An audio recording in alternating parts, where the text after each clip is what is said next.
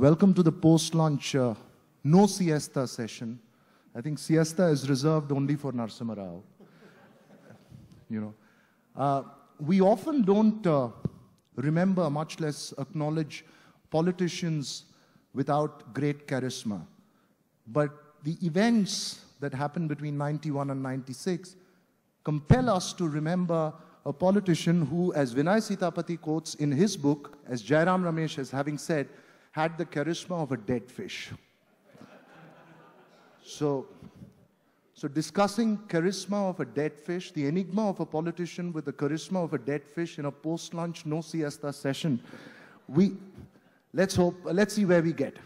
Uh, but, uh, you know, Jairam Ramesh, of course, still is trying to figure out why he was moved out from the Prime Minister's office, as he recounts in his book, The Brink, to the Brink and Back. Uh, fantastic analysis of what happened between 91 and 92, the economic reforms process and how Narasimha went about it. Uh, Godbole was Home Secretary during those crucial years, especially during one of those events that shook India, the Babri Masjid demolition. And Vinay Sitapati was only nine years old at that time. And he has no connection to Chandraswamy given his hairstyle.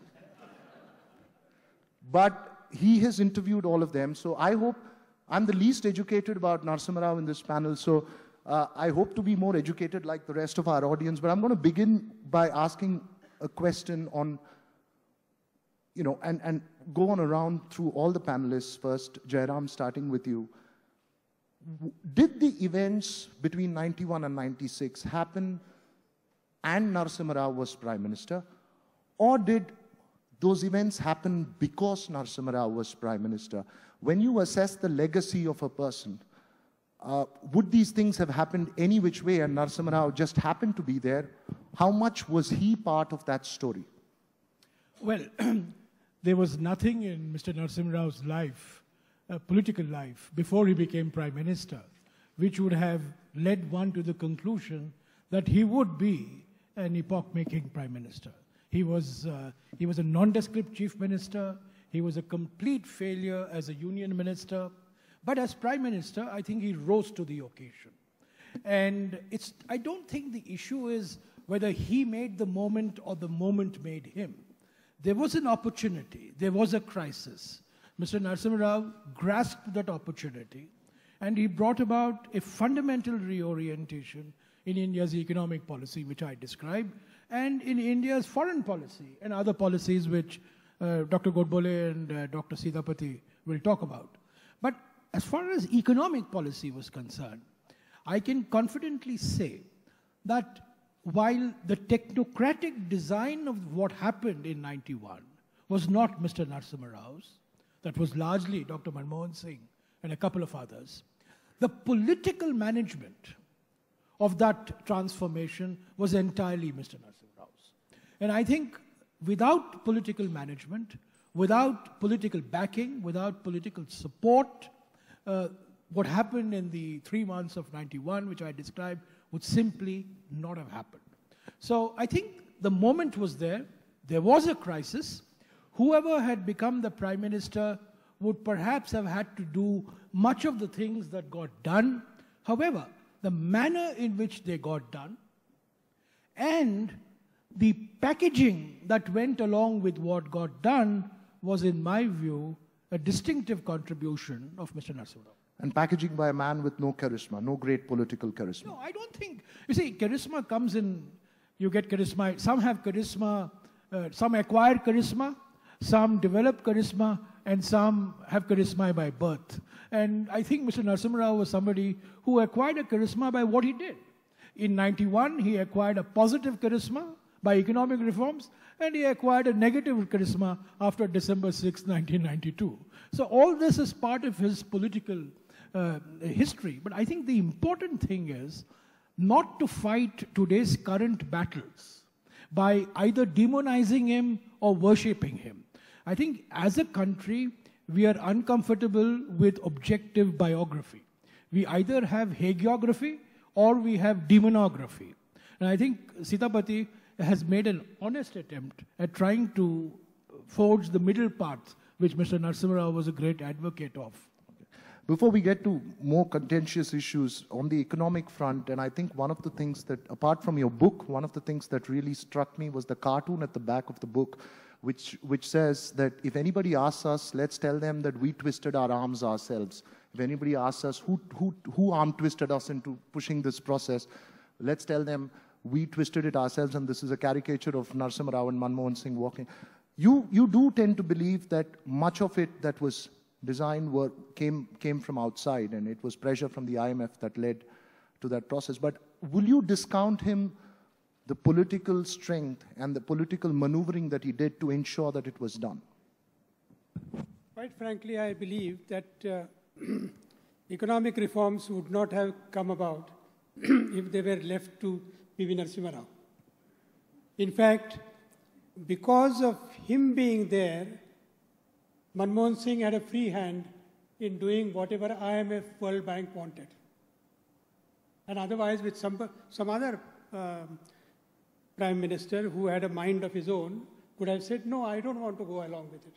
But practically, there was nothing as a program of the government of India in all the economic reforms which we did.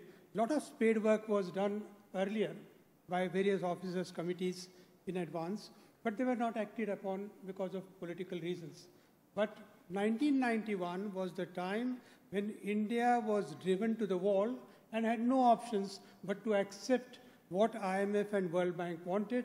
In fact, you must have, you, you would remember, in one of the um, write-ups which was given at, the, at that time by the Finance Ministry, a letter of the World Bank, word by word was quoted, including the American spelling and that came for a lot of comment in the media everywhere. Labor. Yeah. L-A-B-O-R. Also Z instead of S.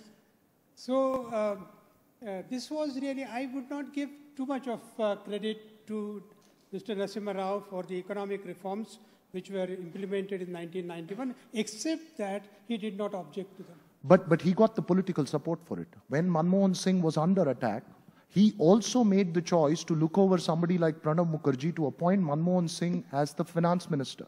The choice was between I.G. Patel and Manmohan Singh. So, you know, somewhere, I think in all fairness, that political backing is required. Manmohan Singh may have been the architect of the process, but who was going to get it parliament support? Who was going to stake their government's survival on it? Would you not give him credit for that? But you must uh, appreciate that at that time, I.G. Patel had said no to this post. It was only after... But Pranab Mukherjee was still interested. Uh, only after I.G. Patel said no that Dr. Manmohan Singh was asked. And obviously, Manmohan Singh was also the choice of the Congress party earlier because he was the advisor during the days of, uh, uh, during the days of Chandrasekhar government. Therefore, um, the fact that Manmohan Singh was there helped in number of ways, also in liaison with the IMF and the World Bank and everything. Also, you have to realize that at that time, most of the so-called socialists and the leftists in, in Congress were silent because they knew that they could not do anything. All the shots which they had called during Indira Gandhi's time, they, they were all silent. And there was, there, was, there was not much of an opposition in that sense in the Congress party to this program, entire program. Whole media was with them, whole international media was with them, all intellectuals, middle class was with them, and therefore all this revolution was brought about with not much of a public discussion. Vinay? Well, I mean, in all due respect, I, I mean, as you can imagine, I disagree with much of it. So I, I, hope that this is a productive debate, though I wouldn't want to disagree too hard. Uh, one is let's just take the argument that it was the IMF, right? Do you know who spread that argument? Narasimha Rao. Because he realized that if he was to, you know, the, the greatest death wish in the Congress is to be able to see, be able to do something, right? To take credit. So he went out of the way to say, look, it's the IMF, it's Nehru, I'm only doing what Nehru would have done. In fact, Narasimha Rao would have been in charge of demonetization. Firstly, he would have asked the RBI governor to make the speech. And secondly, he would have said that Nehru thought of it in 1956. He would have done that. that, that is his art. But but let's just take the IMF argument, right? So it's definitely true that India was facing a balance of payment crisis and the IMF was breathing down our neck. But this was not the first time we had taken a loan from the IMF. In 1981, for example, after the oil shock of 1979, Indira Gandhi took a loan from the IMF, which at the time was the largest loan that IMF had given any country in its history. That did not push Indira Gandhi to reform. So Indian politicians never miss an opportunity to miss an opportunity. Narasimha Rao's ability was to grasp it. Or take the second big argument for why it can't be the IMF. India's balance of payment crisis ends by February 1992, right? So in fact, if you think about it, you know, if the situation was so bad in 91, how do we recover so quickly in February 92, right? That itself tells you that maybe the crisis wasn't as big as we thought. Most of the reforms that we remember, the telecom revolution, infrastructure, halting changes, Narasimha Rao fails in power, most of those reforms takes place after the crisis is over. Much after, you know, Montek Singh Ahluwalia told me if we wanted by mid to end uh, 92, we could have paid the IMF back. We didn't and we halt, you know, we slowly paid back. But both of these tell me very clearly that IMF was just an excuse. And, you know, there's also an argument given that, look, you know, it wasn't Narasimha Rao. At best, he only gave the political cover. It was, you know, it was ideas, it was the blueprint, and that is Manmohan Singh. So that is definitely true, but politics was everything. To give you an example, four prime ministers before Narasimha Rao had the blueprint for reform. So if you take, for example, the industrial uh, policy, the new industrial policy, which is the end of the license Raj, which is really the heart of ending, uh, you know, it's not external liberalization that was the single biggest thing in 91, it was internal liberalization. That was thought of in, 19, in early 1980s. In almost finished form, you know, Montek Singh Ahluwalia added to it, and in semi-finished form, it was available by 1988, and it only required Mr. Jairam Ramesh to do superficial touch-up. I'll say it, he won't. In 91 to say that I'm doing what Nehru is doing, I'm doing what Rajiv is doing. and then Narasimha Rao sold it. There was ferocious opposition to this, ferocious. And as Mr. Ramesh will tell you, the rest of the Congress were terrified that Narasimha Rao was going against socialism. And it wasn't just the Congress party. Big businessmen from Bombay loved the license Raj. And you know, in uh, Mr. Ramesh's book, there's a lovely quote that after the 91 budget, Keshub Mahindra, if I remember right, he quotes, gives a you know, strongly anti-budget uh, speech in, in 91. And I think it was Mr. Ramesh who goes up to Keshub Mahindra and says, you don't sound like an industrialist, you sound like a JNU student. So, you know, the, there was tremendous opposition. What was required was politics. And, you know, and Narasimha Rao had that ability in spades. And one of the reasons he's forgotten today is that he did his best to cover up his fingerprints at every point of time. Because his short-term interest was stability. He was terrified that if he was associated with change, he would lose office.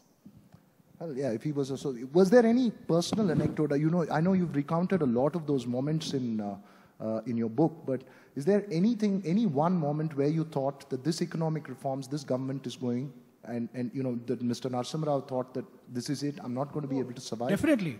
The 18th August 1991, when um, a Gorbachev coup takes place, and Mr. Narasimha Rao gives a speech to the Youth Congress, uh, which, in which he says that, uh, uh, you know, reformers, if they move too fast, they will face disastrous consequences.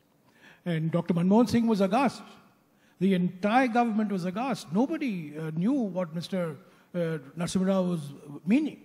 Uh, and uh, the entire day, the 19th of August, was spent trying to deconstruct uh, the meaning. I'm sure Mr. M.K. Narayanan also must have been deconstructing uh, Mr. Uh, Mr. Narasimha Rao's statement. And that was one moment when I think everybody thought that perhaps Mr. Rao will backtrack. But he didn't backtrack yeah, after three, four days, I think things came back on track. And I think the basic point was that it was a situation which had no option but to do what happened. There was simply no room for maneuver. There was no wiggle room. Uh, and even the leftists, even uh, the Janata Dal, the communists, the BJP, were very critical of what Mr. Narasimha Rao was doing publicly in parliament, but privately were telling him, just do whatever you have to do. So I think there was a public face of the opposition, as represented, for example, by the statement of 35 economists, which came out of uh, Calcutta, which Jyoti Basu uh, then uh, sent to uh, Dr. Narasimha uh, Mr. Narasimha Rao and Dr. Manmohan Singh. But there was also a private uh, communication to Mr. Narasimha Rao from all political parties that, look, just do whatever you have to do, but we will continue with our opposition. That was the only time when I think I would say that I had doubt uh, that whether there would be. There was a second moment uh, on the 3rd of July 1991. You remember the devaluation took place in two steps. The, the first devaluation took place on the 1st of July, the second devaluation took place on the 3rd of July. Now, Mr. Narasimha Rao had agreed on the 29th of June that it would be a two-step devaluation. He didn't want, uh, Dr. Manmohan Singh didn't want a one-step devaluation. He wanted a two-step devaluation, saying we'll do one devaluation, we'll test the market, and then we'll do a second devaluation. Mr. Narasimha Rao's comment was, look, whether it's one step or two steps, I don't want any step. But if you want to do it, you can do two steps. That's what he said on the 29th uh, of June. Now, on the 3rd of June, when the reaction to the devaluation was negative, the first devaluation. On the 3rd of June, July. he called up Dr. Manmohan Singh and, sorry? Oh, sorry, the 3rd of July, he called up Manmohan Singh and said, please stop the second devaluation. Uh, and uh, I, I, I, quote this example because it shows uh, the autonomy of the RBI, something which is very much part of the public debate nowadays. In demonetized uh, India. Uh, Dr. Manmohan Singh uh, called up Dr. Rangarajan. Dr. Rangarajan was deputy governor of the Reserve Bank of India.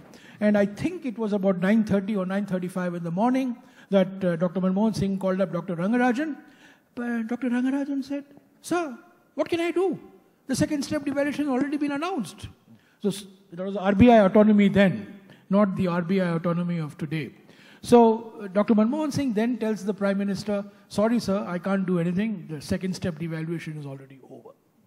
So there were, there were occasions in which I think Mr. Rao when the trade unions went and did a lot of protests in Mr. Narasimha Rao, I think he also uh, began to get a sense that maybe he had moved too fast.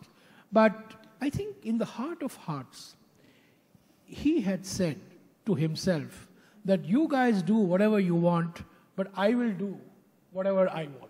What I have so, to. What I have to. So you guys can protest, you do what you want, you shout, you criticize me in parliament, but basically, he had told Dr. Manmohan Singh in a Congress meeting that all the heat you have to take, if the going gets tough, I get going, you will be the face of economic reforms. When the going gets good, of course, I'll stand up and take the credit. Here, here's really the conflict to my mind. You know, you're, you're narrating the story of a man who was willing to stake everything, was decisive on this aspect, and, and took forward on these economic reforms. But we're talking of the same man in another tragic, possibly the most tragic moment in recent Indian history, the demolition of Babri Masjid. He was a man who never took, you know, he was, he's being blamed of complete inaction on, on presiding over that tragic moment. So is there a conflict? I mean, you, you, it's not as if the person could not have taken the decision, but he just didn't. Would you would you see it that way? I and then I would get Godbole. Dr. Godbole is an authority on that, so I'm not going to say anything on that because I have I was not I was not there. I was not a participant. But I'll say one thing: uh, that uh, Mr. Narasimha Rao had a great sense of himself. It was not in your face arrogance but it was the intellectual, you know, it was intellectually arrogant in a very low key sort of a manner. And my view is that he overestimated his ability, uh, his friendships across the political spectrum. Uh, and the best person really to talk about this is Dr. Godbole. I'll just make one comment and I'll, I'll keep quiet. You know, when there was a no confidence motion against Mr. Narasimha Rao on the 15th of July 1991, every political party criticized him. The Congress party, there were only two people who supported him. Only two people. Out of 320 MPs, only two MPs supported him. One was Nathuram Mirdha, a farmer leader from Rajasthan, who was a great personal friend of Dr. Manmohan Singh. And the second person, you will not believe it, was Mr. Mani Shankar Aiyar. Mr. Mani Shankar Aiyar supported the uh, uh, reforms on the grounds that Dr. Manmohan Singh would have been finance minister had Mr. Rajiv Gandhi been prime minister. Therefore, what Dr. Manmohan Singh is doing is nothing but the Congress manifesto of 1991. Barring these two, neither Dr. Manmohan Singh nor Mr. Narasimha Rao had any support in the Congress party. The leftists were opposed to him. The BJP was opposed to him. The National Front, the Janata Dal, was opposed to him. And for two days, he listened to all this criticism. And he gets up the, when he has to reply. And he starts by saying, I've heard all of you. I know most of you are well meaning individuals. But what have I done? You are accusing me of mortgaging India's sovereignty. What have I done? I have not done any mortgaging. सर्वनाशे समुत्पन्ने अर्धम त्यजति पंडित suddenly he lapses into Sanskrit you know nobody understood what you was to say सर्वनाशे समुत्पन्ने अर्धम त्यजति पंडित सर्वनाशे समुत्पन्ने when everything is being destroyed अर्धम त्यजति पंडित the wise man gives up half so that he can retain the half and then at the end of the one hour reply that he gives, he said people are using words like liberalization, globalization, privatization. I am not doing any of this. What I am doing is only Mahaprasthana. Do you know what Mahaprasthana is? Mahaprasthana is chapter 16 in the Mahabharata, when Yudhishthira and his brothers are going up to heaven, followed by the dog. The point I want to make is Mr. Narasimha Rao was a great Sanskrit scholar.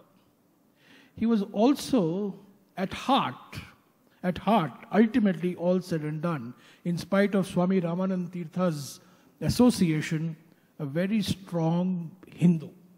And that may have clouded what he did on Babri Masjid. That's what I want. You think so? You think, did you anticipate that he was going to falter on this? Primarily also because, and I asked this question because this is not a man who did not have the experience of a tragic moment in the past. He, he was Home Minister of India when the 84 riots broke out, and he allowed himself to be completely bypassed, to be taken over by the PMO, at least as one, you know, it could be a convenient excuse ultimately, but he still holds moral responsibility of being Home Minister around that time. Did, was there any learning from that past to him when, when, when you brought files on Babri Masjid to him? Uh, you know, more on a personal note, not, not on a documentary note. In your conversations with him, did you expect, anticipate that he was going to falter on this? Firstly, firstly I must say that uh, in all my interactions with him during that very critical period, he never gave out his mind on anything, which is typical of most of the top people in the government, politicians. Indira Gandhi did the same thing. He did the same thing. Secondly, you knew his mind or what went on in his mind only when his book came out, Ayodhya 1982, in which he said, Congress party wanted to make me the scapegoat. These were his words. In fact, this must be the only case in the history where a prime minister was being made a scapegoat by its, his own party and the Prime Minister says so clearly. Now, he wanted this uh, book to be brought out after he is no more, and therefore it was published in 2006. This was his one defense. Second defense was that Constitution did not give me permission to impose Article 356. Now, according to Home Ministry's assessment and the Law Ministry's advice, it government was fully competent to use Article 356, which we had clearly argued and argued with him and argued in the cabinet note. Uh, Supreme Court has more than once said that, that secularism is the basic structure of the constitution. And if any state goes against the precept of secularism, they will be in line for action being taken under Article 356. This is what we were effectively proposing in the Home Ministry. Second thing we were proposing is that this was a very peculiar situation in which more than two, three lakhs of car were supposed to gather around this structure. So we said whatever actions we have to take must be taken before they congregate there. And therefore the plan was that this action should be taken before 21st of December, before the kar sevaks were due to arrive. Secondly, that even then not to take a risk because Kalyan Singh all the time was threatening if any action is taken by government of India, we will attack the structure and finish it. We didn't want that to happen. And therefore, the proposal was for the first time in the history of India to invoke Article 355 of the Constitution, which has never been done yet, under which gives powers to the central government to take charge of any part of the country at any time if it thinks that the country's security is at stake. We thought this was one occasion in which Article 355 must be imposed. And therefore, knowing how Delhi functions, I had proposed in the cabinet note that this meeting of the cabinet to approve Article 355 action should be taken at midnight. The cabinet note should not be circulated in advance, but should be given to the cabinet members at the meeting itself, because as you know, in Delhi, as soon as you circulate the note, it is in the hands, including of the media. And therefore, nothing can remain Kalyani secret. Shankar. The whole success of the mission was going to be the surprise element in sending the commandos to take charge of the structure at midnight before anything else. And therefore, idea was to impose this uh, Article 355 first, then to ask also action under Article 356 and to impose it after all the formalities in the morning. All of these actions were not approved by the Prime Minister for his own reasons. He never gave those reasons. Matters were discussed in more than 10 uh, CCPA meetings, uh, Cabinet Committee on Political Affairs meetings. Quite frankly, except for one or two members, most members didn't utter a single word because obviously as the system works, you look at what the Prime Minister is thinking about what his reaction is, and then only you speak. And most of them, therefore, did not speak a word. This goes on for nearly eight months. About Yes, more than more than eight months. More than eight months. But, uh, you know, uh, as, as Vinay writes in his book, it says that you're a bureaucrat when, when you start speaking, as one of your colleagues said, it's not God Bole speaking, it's like God Bole speaking. Uh, you know, you, you, you, you did Not you ever my have. quote. I quote someone else. yeah, you quote somebody else, sorry. You know, was there ever a moment you decided, I have to be God Bole to Narasimha Rao? That's it. You know, you, you have to do this before the incident happened. You quit after Babri Masjid fell. But was there a moment at that time, and, and, and, and the effort here is to try and go beyond documented, uh, uh, you know, um, evidence that's available at this stage. At a personal level, did you come to a point of time where you said, I'm not going to be Home Secretary when this monumental blunder is going to be made? You must realize that when the crisis is on hand, handing in papers is not the best thing to do. First, you deal with the crisis, then you take whatever action you want to take. And therefore, at that time, my, my threatening or my telling Prime Minister that I will resign, he would say, All right, I'll find another uh, Home Secretary. You have seen, uh, for example, present Prime Minister finding three Home Secretaries, one after the other, including one who was due to retire next day. Therefore, it's not difficult to find Home Secretaries. Question is whether you at that time can do anything to persuade the man to take action.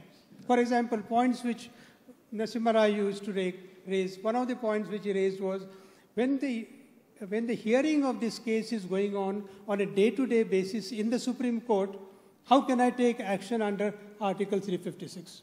Then I quoted to him what the Supreme Court itself had said on the previous day to say that whatever we are doing here does not stop the government from taking whatever action they think is appropriate. Secondly, um, kind of uh, avenues which I tried to use. I thought maybe my minister uh, was not in a much of a mood to talk on this subject, though he, he, he had approved all this line of action. Therefore, I went to Sharad Pawar, who was that time defense minister, and I said, Will you please speak to Prime Minister and explain to him what the contingency plan is, how important it is, and what, are, what is at stake, etc. And maybe your talking to him might help. He went and talked to him, and then he told me also that I have talked to PM, and he, he, he said he will think about it. So therefore, it was the thinking all the time which was going on, but there was no action. And it doesn't really surprise me because when, after Indira Gandhi's assassination, when the uh, riots on a huge scale were taking place in Delhi, uh, P.V. Narasimha Rao was the prime, was the Home, Home Minister. Minister, and he didn't take any action. When he was External Affairs Minister, when St. Kitts hap happened, what did he tell the uh, uh, court? He said, what I did was at the behest of uh, Prime Minister's office, and of the Prime Minister Rajiv Gandhi, and there is nothing that I could do. When the uh, uh, bribing of the MP's case, we are talking about man's past in one sense, and to read from, from that whether he was capable of taking action in these kinds of situations. When uh, uh, Jharkhand Mukti Morcha case took place, and it was clearly established that the MPs were bribed by the government to save itself. When the Supreme Court said, while technically we cannot hold them responsible, you, you, should take action, government should take action to amend the constitution to take out privileges of this kind from the purview. He, take, took, he took no action because it was unpopular to take. And it's not just administrative action, we're also talking of possible political action that could have been initiated about six or seven months ago, which are behind the scenes kind of dialogue. But here's what when I look back at it 25 years and, and see this, and this is a question that, that comes to my mind as, I, as, as we discuss this topic, and when I want to pose this to you, do you think that the astute politician, and then maybe get Jairam's comments as well on this, he, for him per se, while it was a monumental blunder in terms of uh, for India and, and in electoral politics, for Narasimha Rao per se, alienating the right and having the left with him together because he had just initiated economic liberalization in 91 and it was the left which was his fierce opponent there. To alienate the right, single them out, and to keep his left and socialist flock together so that his survival of his government and parliament comes through. Somewhere I see Babri Masjid as an issue that resulted in exactly this. So you know, was, was he thinking about his survival of prime minister at that point of time? Because the falling of the Babri Masjid did not threaten his survival as prime minister. Well, so when it comes to Babri Masjid, the answer is it's complicated, right? So again, I had no axe to grind. If I found that underneath Narasimha Rao's dhoti there were khaki chaddis, I would have written it, right? I have no angle whatsoever.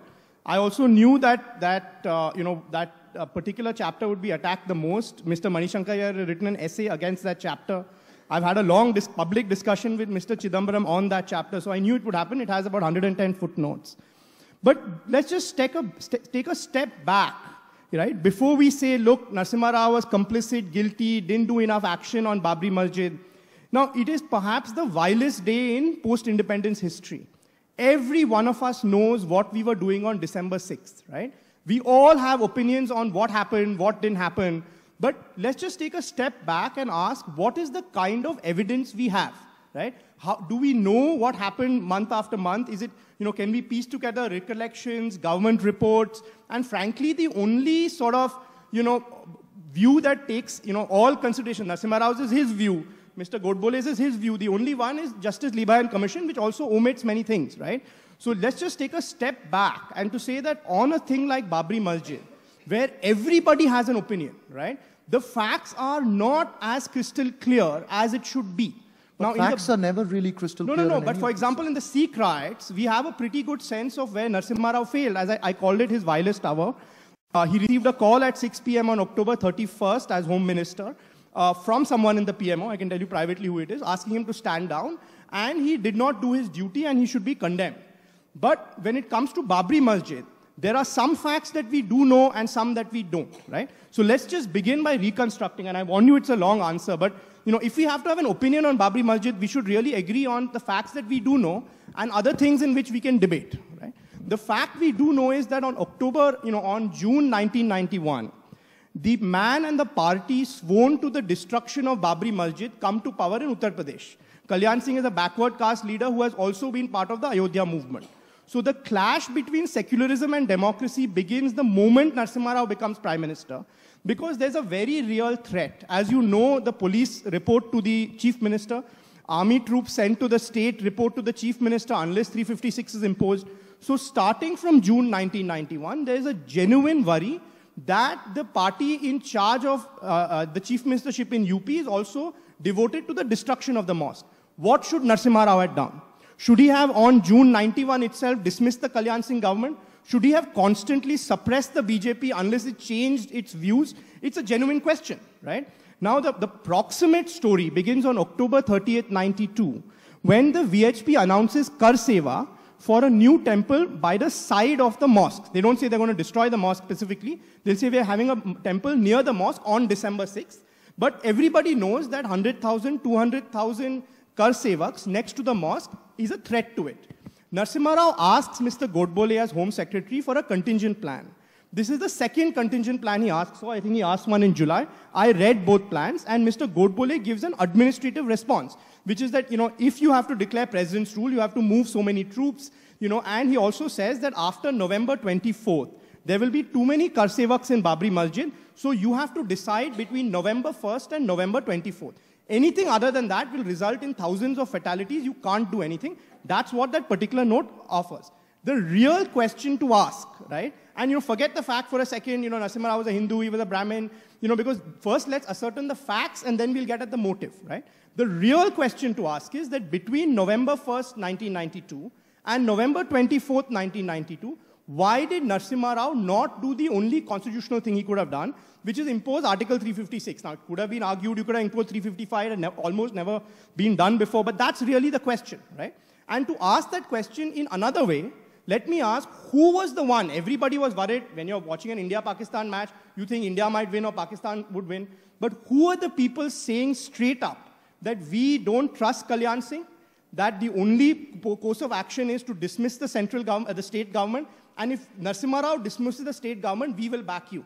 Now, both the IB reports didn't say that. IB reports, with all due respect, says, you know, if the mosque falls, they'll say we told you so. If the mosque doesn't fall, you, they say we told you so. The governor, who was a VP Singh appointee, uh, says clearly that don't impose 356, right? The secular opposition, the, uh, the NIC, in late November, does not specifically tell Narsimha Rao, we don't trust Kalyan Singh Post 356. And as Mr. Godbole himself points out in his book, around 20, November 21st, 22nd, Narsimha Rao travels abroad and tells uh, Manmohan Singh, Arjun Singh, and Sharad Pawar, you please continue to have cabinet meetings. If you believe that there's a threat to the mosque, please dismiss. Narsimha Rao would have been thrilled. Narsimha Rao was terrified that had he imposed uh, Article 356 and dismissed the state government, he would be dismissed that the matter would go to the Supreme Court. As we know in the Bommai case that happened in 1993, the Supreme Court was, were very strong. Yes, they said that secularism part of basic structure, but they were very harsh on uh, central government uh, using too much discretion, to, and that's the SR Bommai standard we have. He was terrified. He was not sure that his own party would back him. Now, I interviewed three people who attended that CCPA, one uh, bureaucrat, one uh, minister and another bureaucrat, Naresh Chandra, who's willing to come on record, they said that during the CCPA meetings, no congressman, including Arjun Singh, specifically said that please impose Article 356, I will back you. In fact, during the Babri Masjid fiasco, uh, Arjun Singh had conveniently traveled elsewhere. He wasn't in Ayodhya, nor was he in Delhi. The real tragedy behind Babri Masjid was that there were no easy options. That Narsimha was terrified that if he did nothing, the mosque would fall. If he dismissed Kalyan Singh, the Supreme Court might hold it illegal, BJP might move a no confidence motion, and he was not confident that the secular left opposition, that the Congress party itself would come to his uh, rescue. And a simple test of that is to ask who was it? From November, uh, from October 30th to December 6th, who was it in public position who was publicly saying, please dismiss Kalyan Singh, we will back you. Sonia Gandhi didn't do it. Sonia Gandhi, in fact, spoke up against the demolition after the demolition. If it was so obvious that the mosque would fall, then she should have spoken up before one word from Sonia Gandhi and the rest of the Congress would fall in line. Now, in this circumstance, where damned if you do, damned if you don't, Narsimha Rao made a strategic error. As Mr. Ramesh said, he overestimated his ability as a Hindu leader. He was talking to a variety of sages, Cook, Sannyasi, Shankaracharyas, Advani, Murli Manohar Joshi, Kalyan Singh. He would quote, you know, talk to them in Sanskrit. He thought that, you know, he could out-Hindu them, right? And he failed. and, and, he, and he failed, right? He failed. It was an error of judgment. He should have known better. His extraordinary instinct when it came to foreign policy and economic policy deserted him when it came to perhaps the most defining date in Indian history. But anything more than that, to say that he was complicit, to say that everyone in India knew the mosque would fall, he was the only one who didn't, therefore there's something wrong with him, is pure Congress canard. And I trace that rumor from actually even before the destruction of Babri Masjid to Arjun Singh's many letters. It gains currency within the rebel Congress faction in 1995. N.D. Tiwari, Natwar Singh, and Arjun Singh keep mouthing that as a reason they're breaking the Congress. And it becomes confirmed view of the Congress party post 1998 when Sonia Gandhi comes to power. It is a way in which the Congress party under Sonia can achieve two things. One is it can tell Muslims who have left the Congress, and the Muslims left the Congress in North India before Babri Masjid. It's not that they left it after. Uh, as you know, in the 89 and 91 elections in UP, the Muslims and upper caste Hindus Vinay, have already Vinay, left Vinay. the Congress. I think you're getting into Congress politics. Yeah. No, no, no. Yeah. But, but ju- ju- no, one ju- second, one second, No, no. second. Just, just to end let's, that. let's just stick to to end Nasim Rao that- and Babri Masjid. Okay, fine. Okay, Fine. let's stick to that issue. I mean, you've given a good summary of your book, and so let's stick to Babri Masjid and Nasim Rao. Yes. I think the point you've made is absolutely unexceptionable. That the situation is far more complicated, far more complex than the advocates of Article 356, post facto, have made it out to be. Although Dr. Godbole, as you know, is on record as having uh, recommended Article 355 well in advance of what happened. Yes. But the, the thing that puzzles me about Babri Masjid issue, although I, as I said, I have no competitive advantage to deal with this issue, is that Mr. Narsim Rao has been intellectually dishonest in his book. Yes, yes. That's what bothers me. That's true. That's what bothers me. Mr. Narsim Rao was intellectually honest when it came to economic reforms. Uh, and there is enough evidence to show. But on the Babri Masjid issue, his book, which Dr. Godbole has quoted, which is worth reading, by the way, does not square with the facts brought out by one of his key advisors, who was one of his interlocutors with these various swamis of different sects from of different parts of India, PVRK Prasad, who has written his own memoir. And the information that PVRK Prasad provides on what the Prime Minister's thinking yeah, yeah, was yeah. from March of 1992 to December 1992. That is what bothers me. It, I mean, I, I am not, as I, as I said, I am not, I'm not saying that he had a master plan for the demolition. That's not, I'm not going to that extent. All I'm saying is that the truth is far more complex, but as Dr. Godbole has said, there were options. If there were options, but unfortunately, nobody was putting pressure other than uh, Dr. Godbole. His own minister was not putting the pressure on the prime minister Yeah. to go by what was being recommended. So this is what I find a bit perplexing. No, You I know, agree. No, hang, uh, uh, hang on, it's a Vinay. perplexing. Just a no, quick addition. No, one second, Vinay. Sorry, go Uh, sorry, uh, you know, what I'm saying, Yeah. you know, is, is that, yeah, you know, this is a debate which has facts, and I don't think we will be able to surmise and come to a conclusion on it. But here's the question that I ask, that when you occupy the office of Prime Minister, and 25 years back, when we look back at his legacy, it doesn't matter what happened. It matters that you were Prime Minister just as it matters that you were Prime Minister and economic reforms happened, you were Prime Minister when Babri Masjid happened. And, and the question of moral responsibility comes. I, No, I, I don't no, agree. I'm- I'll, I'm I'll tell you, no, no, I'll tell you why I don't agree. Let's take the second. no, let's take the second big tragedy in India, the 2002 Gujarat riots, right? The Vajpayee was prime minister. Does anyone blame him? I mean, he could, he, he could have not just dismissed Narendra Modi using 356, he could have dismissed him using intra-party mechanisms, and as we know, he didn't do it. Law and order, unlike economic policy, is a state subject. Under the Indian constitution, power is given to the, to the chief minister over the police and the army in aid of civilian authority. Now, if you believe that the prime minister should have the final say in instances like that, do we all agree that the constitution should be completely amended to give all state police control to the prime minister? I mean, we work under, now, you could argue Vinay- that Narsimha Rao could have disregarded it, but he was too weak Vinay- to do that. Vinay, I'm sorry, I think Godbole Saab wants to see, say something. I think the point, the point which, uh, which was raised, who was saying what before Babri was uh, demolished. I think we are talking about a prime minister. We are not talking about somebody in the street. It is the job of the Prime Minister in such situations to assess the situation and to take a decision. Whether he took a decision or not, whether he showed qualities of leadership or not, whether that can be his legacy or not, is a question which we ought to debate. Now, question which you asked, for example, uh, was uh, why uh, Article 356 was not imposed earlier. Obviously, what was being proposed was that it should be imposed at a time when the government would have a clear argument before any forum like the Supreme Court to say these were the reasons which made us take this extreme step of invoking Article 355 and 356. And according to me, if there was one case in Indian history of the last 70 years of over 100 par, uh, president's rules being imposed in the state, this was one occasion on which it was fully justified. But that was one occasion which was not used. And therefore, we ought to ask ourselves a question whether we were right or wrong. I will I'll take you one step further. Even after the Babri Masjid was demolished, there was a widespread disenchantment, even amongst the Hindus, with the demolition of Babri Masjid.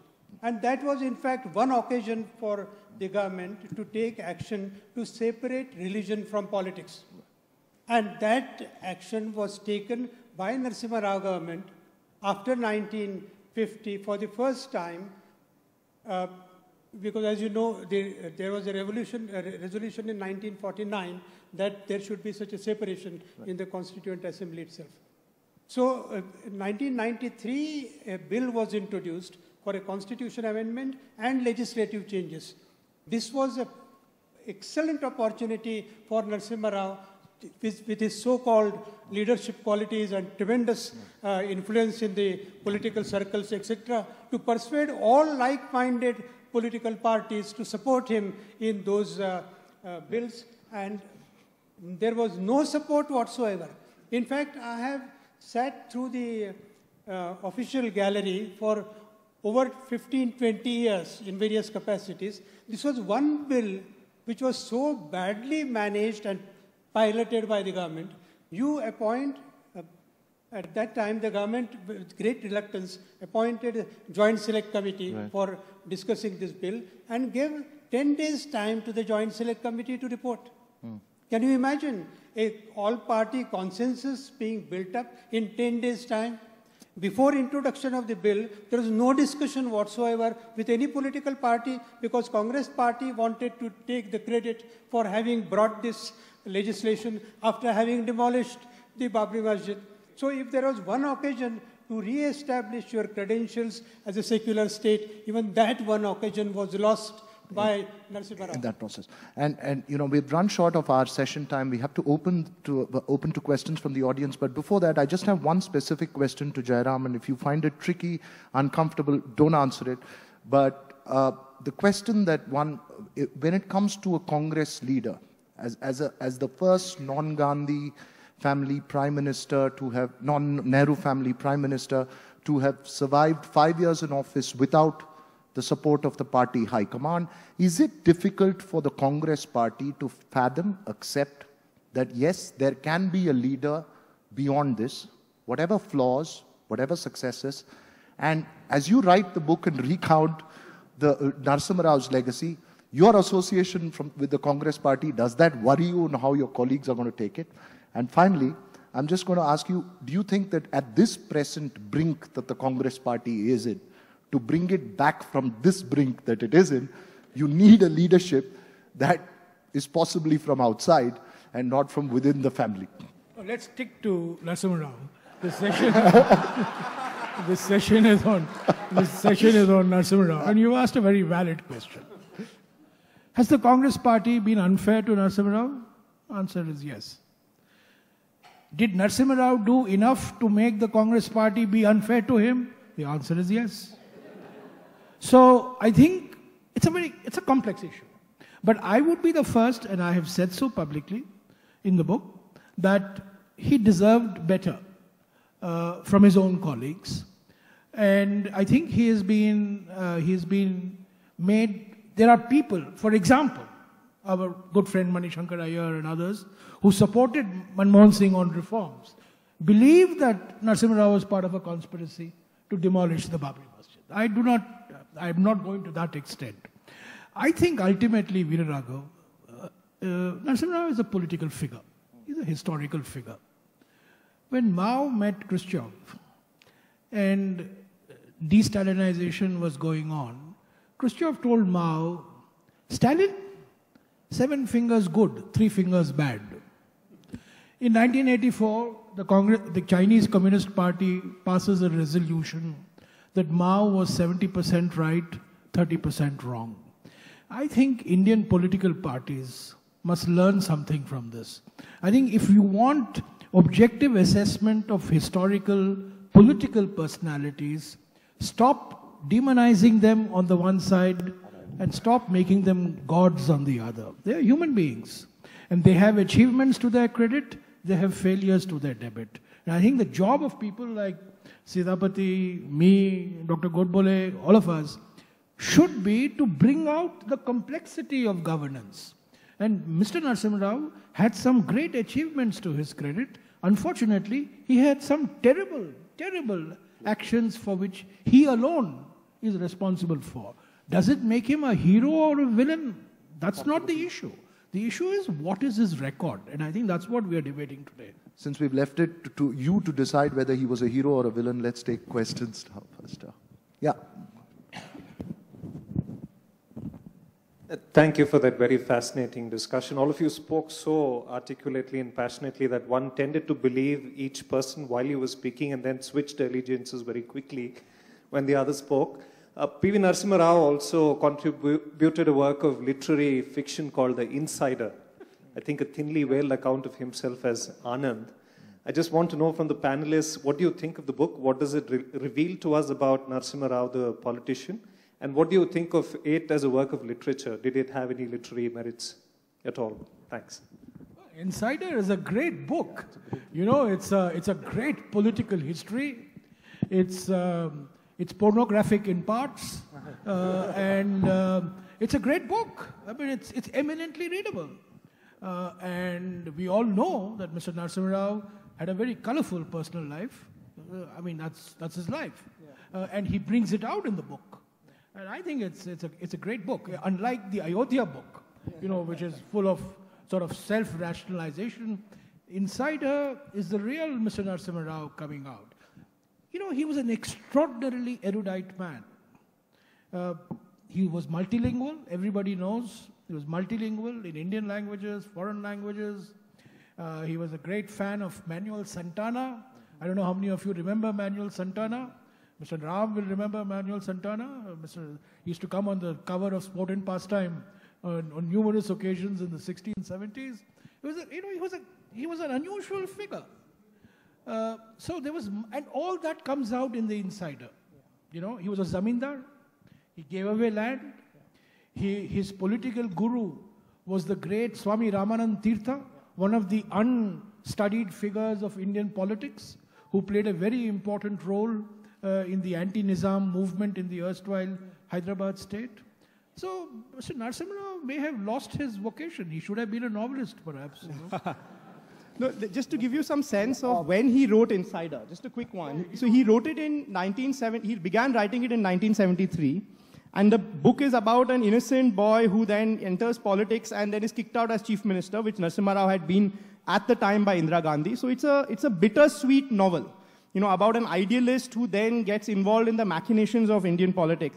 My opinion, it's not, it's not great literature, but it, you know, gets at a puzzle that plagued Narasimha Rao throughout his life, that you know, if an idealist wants to get into politics, then how do you remain in politics if to remain in politics you have to do bad, right? It's the Machiavellian puzzle. So the book really brings that out. Mr. Ram?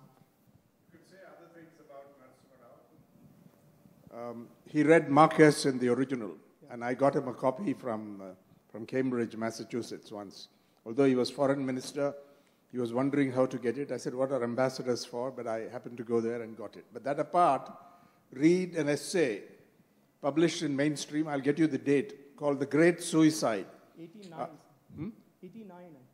Yeah, after, Kar, after the Karseva agitation, the first one, and I'll, I'll, get you the date, I can't recall right, right away. No, it was January 1990. Yeah, that's right. January, January 1990. 1990. After the Congress had lost the 89 election. That's right. They, Nikhil Chakravarti strenuously denied that Narasimha was the author. If you go to the columns of mainstream, you'll find a polemic on, on this authorship.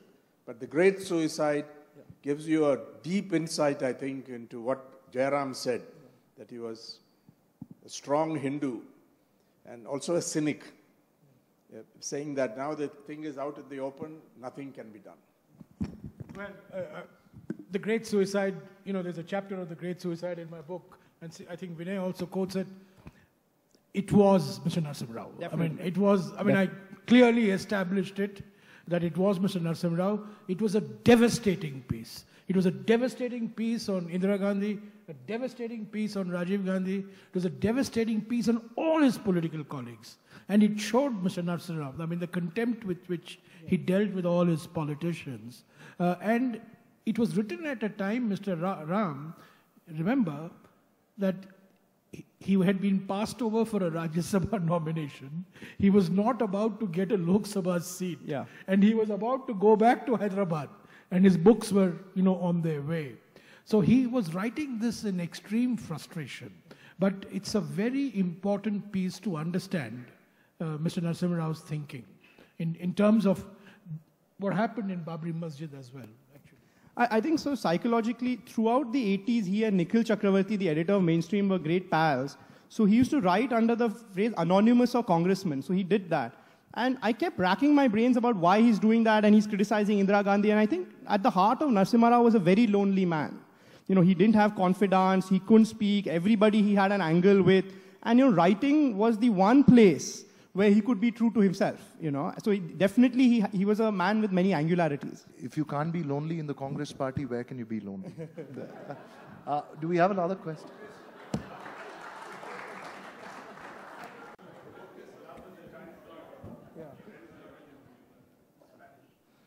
Uh, do we have another question? Yeah. Uh, sir, can you please brief, uh, brief us on Mr. Rao's foreign policy? On his foreign policy. Uh, in fact, nuclear deal, bringing it close down, Vajpayee had acknowledged. She's asking, can you brief us on his foreign policy and his Vinay achievements? has done a lot of interviews on foreign policy. So let him speak on this, and I'll add a couple of points. So I think you know the changes for foreign policy in India begins in the 1980s. You know, so I would you know a lot of people said the Indira Gandhi when she comes to power the second time she's not the Indira Gandhi the first time, right? So the slight shift towards um, US, for example, begins in the early 1980s. And even, for example, the movement towards uh, Israel begins in the mid to late 1980s, right? But each of them begins to halt. It's like economic policy ideas are there in the system. Narasimha Rao is the man who converts that into action. So for I think his big, you know, he understood very quickly that the world was changing, that India had to be pragmatic, and he opened up relations with Israel. And I think a, the way he does it is brilliantly. You know, you know when he's opening up with Israel, when he invites Yasser Arafat as chief guest, hugs him, takes his blessings, goes to parliament and saying, with the blessings of Yasser Arafat, I'm sending an ambassador to Israel, right? That's Rao's ability. He also sort of, the peace and tranquility agreement with China is a landmark agreement that happened. Again, you know, it first happened under Rajiv, but he's the man who pushed it. And he moved towards East Asia, so the whole East Asian, you know, look east, you know, it's his. The phrase was coined by Salman Haider, but action is his. I think Narasimha Rao's genius was that he had a philosophical sense of change and continuity. So even while he was making new friends in the world, he went out of the way to sort of patronize the old friends, you know, so whether it came to Russia or Iran. So one of the reasons India today is friends in the Middle East with Israel, Iran, and Saudi Arabia. Friends in, you know, in, with Russia, with Eastern Europe, and with America is Narasimha Rao had this, this ability to, you know, have change without irritate, irritating your old friends.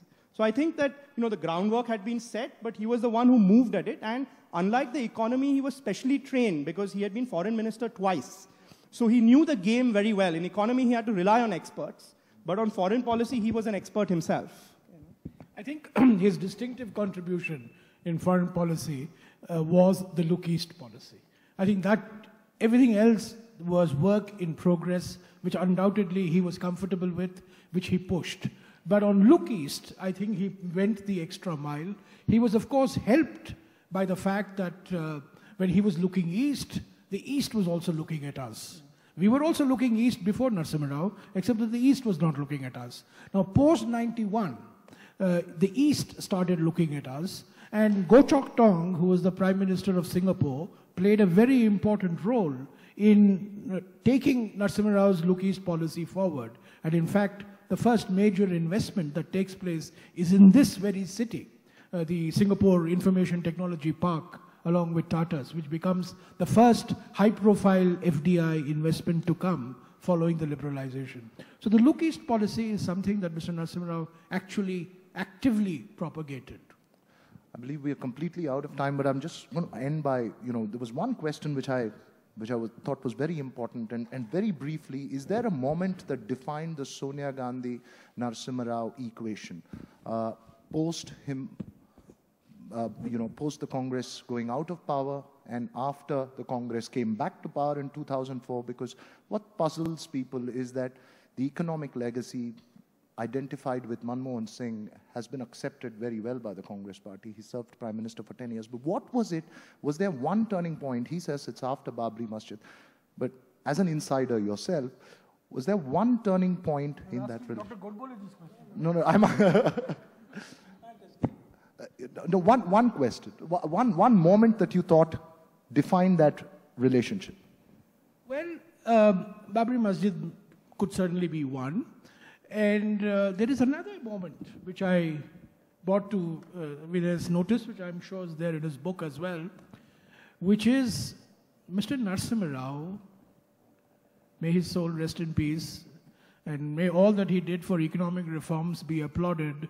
Mr. Narasimha Rao cynically used Chandraswamy to discredit Mrs. Gandhi. And I am not saying this. This is documented in a memoir written by the Director of Enforcement, Javed Chaudhry, yeah. a colleague of Dr. Godbole. Javed Chaudhry was the Director of Enforcement, and Chandraswamy was planting papers on him on the Bofors deal. It's all there in black and white. So, as I said, while the Congress party may have been unfair to Mr. Narasimha Rao, Mr. Narasimha Rao worked hard to make the Congress party be unfair to him? Well, the enigma of Narasimha Rao may be very difficult to figure out, but I think convolutions within the Congress party are equally difficult to figure out. I thank all the panelists for uh, being here, and of course, there's much more to talk about. Thank you all for being here for the session.